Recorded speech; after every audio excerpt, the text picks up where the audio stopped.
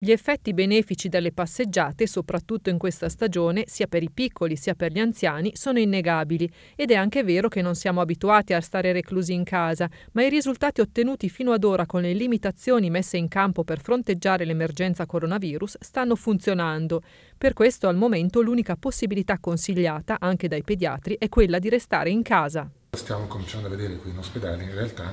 una riduzione degli accessi al pronto soccorso, il che significa anche una riduzione eh, auspicabile dei casi che poi dovranno purtroppo evolvere in situazioni più gravi. Questo è sicuramente dovuto al rispetto di tutte le norme che quotidianamente ci vengono suggerite e ricordate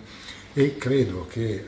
questi risultati non debbano e non possono essere vanificati da adesso in avanti con un comportamento generale che sia più liberale, anche se Ovviamente per tutti noi la reclusione in casa non è sicuramente un aspetto eh, al quale siamo abituati. Questo è ancora meno piacevole e sicuramente più complesso per eh, le famiglie con bambini, ma secondo noi come eh, diciamo pediatri